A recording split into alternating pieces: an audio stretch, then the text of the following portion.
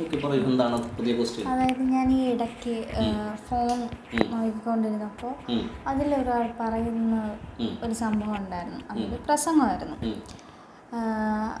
ഇങ്ങനെയാണ് പറയുന്നത്. നീ നിന്റെ ജീവിതത്തിൽ ദൈവത്തെ ദൈവത്തിന് പ്രവർത്തിക്കാനായിട്ട് നീ നിന്നെ തന്നെ കൊടുക്ക്. എന്നിട്ട് ഒരുപാട് ഇങ്ങനെ പറയുന്നുണ്ട്. അങ്ങനെ കൊടുത്തു കഴിഞ്ഞാൽ നീ വീണെടുത്ത് നിന്ന് നിന്നെ ഉയർത്തും. നിന്നെ നിന്ദിച്ചവരുടെ മുൻപിൽ നിന്നെ ഉയർത്തും. നിന്നെ നിന്നെ നിന്ദിച്ചവർ നിന്റെ മുൻപിൽ തല താഴ്ത്തും. അവർ നിന്റെ മുൻപിൽ നശിക്കുന്നത് നീ കാണും. അങ്ങനെയൊക്കെ ഒരുപാട് കാര്യങ്ങൾ പറയുന്നുണ്ട്.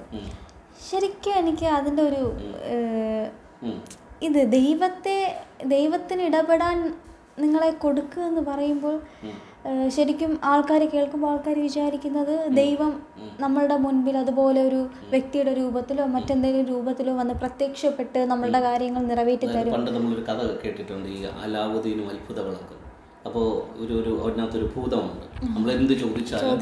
അതെല്ലാം ചെയ്തു തരുന്ന ഭൂതം. അതുപോലെയാണ് ദൈവത്തെ അവതരിപ്പിച്ചു ആ അതെ അങ്ങനെ അപ്പോൾ കേൾക്കുന്നവരും അതായിരിക്കും വിചാരിക്കുന്നത്. അപ്പോൾ അവർ കാത്തിരിക്കുന്നത് നമ്മളുടെ മുൻപിൽ പ്രത്യക്ഷപ്പെടുന്ന ദൈവത്തെ ആയിരിക്കും. അപ്പോൾ അതിന്റെ ഒരു ശരിക്കും സത്യാവസ്ഥ. അപ്പോൾ ഇത് ചോദിക്കുന്നതിന് മുൻപ് വേറൊരു കാര്യം. അതായത് ദൈവം എന്ന് പറയുമ്പോൾ നമ്മൾ പറയുന്നു സർവവ്യാപി ദൈവം അരൂപിയാണ് എന്ന് പറയുന്നു.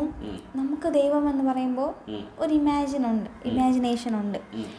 ശരിക്കും അങ്കിൾ എത്ര സർവവ്യാപിയാണെന്ന് പറഞ്ഞിരുന്നാലും വേറൊരു വ്യക്തിയുടെ അടുത്ത് ദൈവത്തെ നമ്മൾ പ്രസന്റ് ചെയ്യുമ്പോൾ എന്തേലും രൂപം ഒന്നിൽ വെളിച്ചമായിരിക്കും.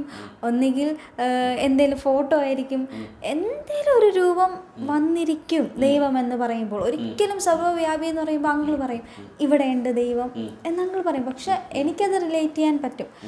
പക്ഷേ വേറൊരു വ്യക്തിയുടെ അടുത്ത് പറയുമ്പോൾ എന്തെങ്കിലും രൂപമായിരിക്കും ആ വ്യക്തിയുടെ ഉള്ളിൽ വരുന്നത് ദൈവം എന്ന് പറയുമ്പോൾ ആ രൂപം കിടക്കുന്നത് കൊണ്ടായിരിക്കും ഈ അച്ഛന്മാരും ഇവരും ഇങ്ങനെ പ്രസംഗിക്കുന്നത് കേൾക്കുമ്പോൾ ആ രൂപത്തിൽ പ്രത്യക്ഷപ്പെടും എന്നായിരിക്കും അവരും വിചാരിക്കുന്നത്. അപ്പം അതും കൂടെ കണക്ട് ചെയ്തെന്ന് പറയണം? അപ്പോൾ ഫസ്റ്റ് ഓഫ് ഓൾ ഈ നേരത്തെ പറഞ്ഞതുപോലെ ഓരോ വ്യക്തിയുടെയും ഉള്ളിലുള്ള ദൈവിക സങ്കല്പം അവർ ജനിച്ച് വളർന്ന മതവുമായിട്ട് ബന്ധപ്പെട്ടുള്ള രീതിയിലായിരിക്കും. അല്ലെങ്കിൽ അവർ കണ്ടും കേട്ടും പരിചരിച്ചു വന്ന ദൈവിക സങ്കല്പങ്ങളായിരിക്കും അവരുടെ മനസ്സിനകത്ത് കിടക്കുന്നത്. അപ്പോൾ അതുകൊണ്ട് ദൈവികമായ കാര്യങ്ങളെക്കുറിച്ച് ഒരു വേറൊരാൾ പറയുമ്പോൾ അവരുടെ എക്സ്പെക്റ്റേഷൻ അവർ കണ്ട അവരറിഞ്ഞ് അവർ സങ്കല്പിച്ച രീതിയിൽ ദൈവം അവരോട് ഇടപെടും എന്നുള്ളത് തന്നെയാണ്. ഓക്കെ അത് പെട്ടെന്ന് നമുക്ക് മാറ്റാൻ പറ്റില്ല. അത് മാറ്റണമെന്നുണ്ടെങ്കിൽ ആ വ്യക്തിയെ ശരിയായ രീതിയിൽ നമുക്കൊന്ന് റീ എന്തോ റീസ്ട്രക്ചർ ചെയ്തെടുക്കേണ്ടി വരും. മോൾഡ് ചെയ്തെടുക്കേണ്ടി വരും. ഇപ്പം കണ്ടില്ലേ ഈ കുശവന്റെ കയ്യിൽ ഒരു കളിമണ്ണിൽ ഒരു പാത്രം ഇരുന്ന് കഴിഞ്ഞാൽ ആ കുശവന്റെ കയ്യിലിരുന്ന് അത് പൊട്ടിപ്പോയി കഴിഞ്ഞാൽ കുശവൻ എന്ത് ചെയ്യാൻ പറ്റും?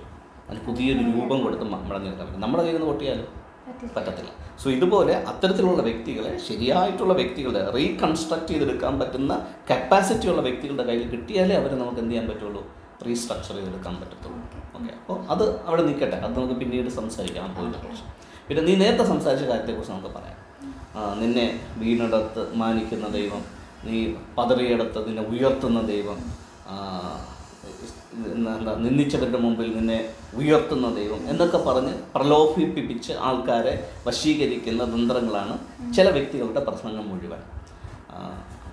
കാരണം ഈ പ്രസംഗത്തിന് റിലവന്റ് അല്ലെങ്കിൽ ശരിക്കും ഈ പ്രസംഗത്തിന് ശരിക്കും പൊട്ടൻഷ്യൽ വരുന്ന എവിടെയാണെന്ന് ചോദിച്ചു കഴിഞ്ഞാൽ ആ വ്യക്തിയുടെ മുമ്പിലിരിക്കുന്ന ജനങ്ങളെല്ലാം ആ നിലവാരത്തിലുള്ളതാണ്. ഇപ്പോൾ ഈ ഭൂമിയിൽ നോക്കിക്കഴിഞ്ഞാൽ ഏകദേശം ഒരു സിക്സ്റ്റി ടു സെവന്റി പെർസെന്റേജ് ആൾക്കാർ കോമൺ മാനാണ് ഇല്ലേ? സാധാരണ മനുഷ്യരാണ്. അവരുടെ ആഗ്രഹം എന്ന് പറഞ്ഞാൽ നല്ല രീതിയിൽ ജീവിക്കണമെന്നാണ് നല്ല ആഹാരം കഴിക്കണം നല്ല വസ്ത്രം ഉപയോഗിക്കണം മക്കളെ നല്ല രീതിയിൽ പഠിപ്പിക്കണം മക്കളെ നല്ല രീതിയിൽ എത്തിക്കണം നല്ലൊരു ഉയർച്ച ഉണ്ടാകണം ജീവിതത്തിനകത്ത് നന്മ ഇങ്ങനെയൊക്കെയുള്ള നോർമലായിട്ടുള്ള ആഗ്രഹങ്ങളിലാണ് ഒരു അറുപത് മുതൽ എഴുപത് ശതമാനം മനുഷ്യർ ജീവിക്കുന്നത്. അപ്പം അങ്ങനെ ജീവിക്കുന്ന മനുഷ്യരുടെ ലൈഫിനകത്ത് എപ്പോഴും പ്രാരാബ്ദങ്ങളുണ്ടാകും. കടങ്ങളുണ്ടാകും. എന്തെങ്കിലുമൊക്കെ വലിയ ആവശ്യങ്ങളുണ്ടാകും. അപ്പോൾ എപ്പോഴും ഒരു ഞെരുക്കത്തിന്റെ അനുഭവത്തിലൂടെയാണ് ഈ സാധാരണ ജനങ്ങൾ കടന്നു പോകുന്നത്. കാരണം എന്താ? കടം മേടിക്കുന്നത് തിരിച്ചു കൊടുക്കണം. പിള്ളേർക്കുള്ള പിന്നെ മെഡിസിൻ മേടിക്കാനുള്ളത് ഉണ്ടാവും അഡ്മിഷൻ കൊടുക്കാനുള്ളത് ഉണ്ടാകും. ഫീസ് കൊടുക്കാനുള്ളത് ഇങ്ങനെ ഒരുപാട് ആവശ്യങ്ങൾ വരും. അപ്പോൾ അവരുടെ ഡേ ടു ഡേ ലൈഫിനകത്ത് വരുന്ന ഇൻകം വെച്ചിട്ട് അവർക്കൊന്നും എന്ത് ചെയ്യാൻ പറ്റില്ല? ഫുൾഫിൽ ചെയ്യാൻ പറ്റത്തില്ല. ഇപ്പോൾ ഒരു പെട്ടെന്ന് അത് അവരുടെ വീട്ടിലുള്ള കുഞ്ഞ് അങ്ങനെ നടന്നു പോകുമ്പോൾ ഒന്ന് വീണെന്നിരിക്കട്ടെ. വീണ് കാലിലെ എല്ലൊടിഞ്ഞു. അപ്പോൾ ഹോസ്പിറ്റലിൽ കൊണ്ടുപോകണം. സർജറി ചെയ്യണം. മെഡിസിൻ മേടിച്ച് കൊടുക്കണം. അപ്രതീക്ഷിതമായി വന്നൊരു ചിലവാണ്. ചിലപ്പോൾ ഒരു പത്തിരുപത്തയ്യായിരം രൂപയുടെ ആവശ്യം വരും. അവരെന്ത് ചെയ്യും? പോയി കടം മേടിക്കും. ആദ്യം പോയി കടം മേടിക്കുന്ന ആൾ കൊടുക്കുമോ ചോദിക്കുന്ന ആൾ കൊടുക്കും. ഒരു പത്ത് പേരോ പതിനഞ്ച് പേരോ ചോദിക്കുമ്പോഴായിരിക്കും ഒന്ന് രണ്ട് പേര് സഹായിക്കുന്നത്. അപ്പോൾ ബാക്കിയുള്ള ആൾക്കാരെല്ലാം ഇവരെ അപമാനിച്ച് വിടുന്നതായിട്ട് ഇവർക്ക് തോന്നും. കൊടുക്കാത്തത് എന്തുകൊണ്ടാണ് ഇവർക്ക് തിരിച്ചു കൊടുക്കാൻ കപ്പാസിറ്റി ഇല്ല എന്നുള്ളതൊക്കെ അറിയാമെന്നുള്ളതുകൊണ്ടാണ് പലപ്പോഴും ഹെൽപ്പ് ചെയ്യാത്ത പലരും. അപ്പോൾ ഒരു പത്തിരുപത് പേരോട് ചോദിച്ചപ്പോൾ എല്ലാവരും അവമാനിച്ചു. അപ്പോൾ ഹൃദയത്തിനകത്ത് വേദനയായി. ഒന്ന് രണ്ട് പേര് സഹായിച്ചു. അപ്പോൾ കാര്യങ്ങളൊക്കെ നടന്നു. അപ്പോഴാണ് ഈ പ്രസംഗം കേൾക്കുന്നത്. നിന്നെ അപമാനിച്ചവരുടെ മുമ്പിൽ ദൈവം നിന്നെ ഉയർത്തും. ഇത് കേൾക്കുമ്പോൾ ഒരു ആശ്വാസം. ഈ ആശ്വാസം അവർക്ക് കിട്ടുമെന്ന് പറഞ്ഞ് അതേ സ്ഥലത്തേക്കാണ് ഈ പ്രസംഗിക്കുന്നവൻ എന്ത് ചെയ്യുന്നത് അസ്ത്രം ഇട്ട് കൊടുക്കുന്നത്. അപ്പോൾ അവരെന്ത് ചെയ്യും? ആ ഇപ്പം നീ ഒരു നൂറ് രൂപ സ്തോത്ര കാഴ്ച ഇട്ട് കഴിഞ്ഞാൽ ഞാൻ ഈ പറഞ്ഞ കാര്യം നിന്റെ ലൈഫിൽ ആക്റ്റീവ് ആകും കൂടെ പറഞ്ഞു കഴിഞ്ഞാൽ അവൻ നൂറല്ല അമ്പതല്ല അഞ്ഞൂറ് വേണമെങ്കിലും ഇട്ട് കൊടുക്കും. സോ ഇങ്ങനെയാണ് ഈ പ്രസംഗിക്കുന്നവർ ഈ വ്യക്തി വ്യക്തികൾ എന്ത് ചെയ്യുന്നത് കബളിപ്പിക്കുന്നത്. ശരിക്കും അവിടെ ദൈവമാണോ പ്രവർത്തിക്കേണ്ടത് അല്ല. ഈ വ്യക്തിക്ക് എന്താ നമ്മൾ പറഞ്ഞു കൊടുക്കേണ്ടത് ശരിക്കും എങ്ങനെയാണ് ലൈഫിനെ മോൾഡ് ചെയ്യേണ്ടതെന്നുള്ളത് ഈ വ്യക്തിയെ നമ്മൾ കൂടെ നിർത്തി ആ വ്യക്തി ഇക്വിപ്പ് ചെയ്തെടുക്കണം.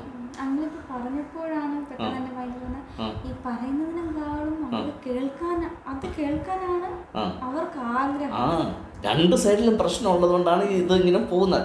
തഴച്ച് വളരാൻ കാരണം ഇതുകൊണ്ടാണ് ഈ സൈഡിൽ ഇത് കേൾക്കാനും ആഗ്രഹമുണ്ട്. ആ കേൾക്കാൻ ആഗ്രഹം ഉള്ളതുകൊണ്ടാണ് ഇവർ പറയുന്നത് ഓക്കെ. സോ പറയുന്ന ആൾക്കാർ ഇവർക്ക് ഭയങ്കര ഇഷ്ടമാവും. ഓ ദൈവദൂതനെ പോലെ ഒരു വ്യക്തി എന്റെ ജീവിതത്തിൽ വന്നു. ദൈവത്തെ എന്റെ ആ ഒരു ശരിക്കുമുള്ള ദൂത് എനിക്ക് തന്നു. എന്ന് ഈ ഒരു പ്രതീക്ഷയുമായിട്ട് അവർ പിന്നെ എന്ത് ചെയ്യും? കുറേ നാൾ ജീവിക്കും. ഒരു രണ്ട് മൂന്ന് വർഷം ജീവിച്ചിട്ട് കടങ്ങൾ കൂടുന്നതല്ലാതെ കുറയുന്നില്ല. അതും കൂടിക്കൊണ്ടിരിക്കും. അപ്പോൾ ഇയാൾ അടുത്ത ഡോസ്. നിന്നെ നിരന്തരമായി നീ എന്താ ജീവിതത്തിൽ പരാജയപ്പെട്ടുകൊണ്ടിരിക്കുന്ന ഒരു വ്യക്തിയാണോ? ദാവീദ് പരാജയപ്പെട്ടു പതിനാല് വർഷം. പതിനാല് വർഷം കഴിഞ്ഞപ്പോഴാണ് രാജ ദൈവം രാജാവായിട്ട് അവൻ അഭിഷേകം ചെയ്തത്. അതുകൊണ്ട് നീ നിരന്തരം പാഴായിക്കൊണ്ടിരിക്കുന്ന ഒരു ജന്മമാണോ? നിരന്തരം തോറ്റുകൊണ്ടിരിക്കുന്ന ഒരു വ്യക്തിയാണോ? നിന്നെ ദൈവം മാനിക്കാൻ പതിനാല് വർഷമായിട്ട് ദാവീദിനെ സഹായിച്ച ഒരു ദൈവം. പന്ത്രണ്ട് വർഷമായിട്ട് രക്തസ്രാവമുള്ള സ്ത്രീ പന്ത്രണ്ട് വർഷമായിട്ട് കഷ്ടപ്പെടുകയായിരുന്നു. ദാ ജീസസ് നിന്റെ മുമ്പിൽ നിൽക്കുന്നു. നിനക്ക് അടുത്ത പുതിയൊരു അവസരം അടുത്ത ദൂത് വന്നു. ഇതിനകത്ത് അവൻ വീണ്ടും വീഴും. സോ ഇങ്ങനെയാണ് ആൾക്കാർ യൂട്ടിലൈസ് ചെയ്യുന്നത്. പക്ഷേ നമ്മൾ എന്താ ചെയ്യേണ്ടത്? ഈ വ്യക്തിയെ ദൈവികമായിട്ടുള്ള കൾച്ചറിൽ വളർത്താനായിട്ട് ഞാൻ ആ വ്യക്തി എന്ത് ചെയ്യണം? പരിശീലിപ്പിക്കണം. ഈ ഓഫർ മാത്രം കൊടുത്താൽ പോരാ.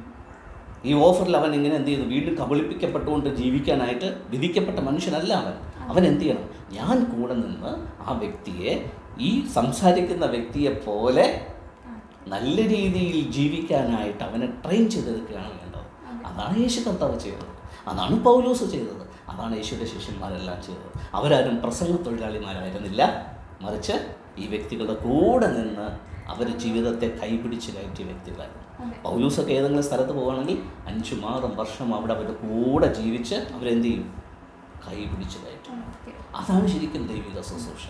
അല്ലാതെ ഈ പ്രസംഗവും കബളിപ്പിക്കലും അല്ല. പക്ഷെ ആൾക്കാർക്ക് ഈ കബളിപ്പിക്കൽ ഇഷ്ടമാണ്. അതുകൊണ്ടാണ് ഈ കബളിപ്പിക്കൽ ഇന്നും തുടർന്നുകൊണ്ടിരിക്കുന്നത് അപ്പോൾ ഇത് ആൾക്കാർ മനസ്സിലാക്കണം. ആൾക്കാർ മനസ്സിലാക്കുമ്പോൾ ഈ കബളിപ്പിക്കുന്നവരുടെ എണ്ണം. തന്നെ കുറഞ്ഞോളൂ. ഓക്കെ. അപ്പം അത് തന്നെയാണോ ഉദ്ദേശിച്ചത്? ഇനി അതിനകത്ത് വേറെ എന്തെങ്കിലും ഉണ്ടോ? അപ്പം നമുക്ക് കബളിപ്പിക്കുന്നവരൊരിക്കലും കുറ്റം പറയാൻ പറ്റില്ല. കാര്യം എന്താ? ഞാൻ എന്നെ കബളിപ്പിച്ചോ എന്ന് പറഞ്ഞൊരു പത്ത് പേര് നിൽക്കുമ്പോൾ. കബളിപ്പിക്കാൻ ആൾക്കാർ തന്നെ ഉണ്ടായിക്കൊള്ളും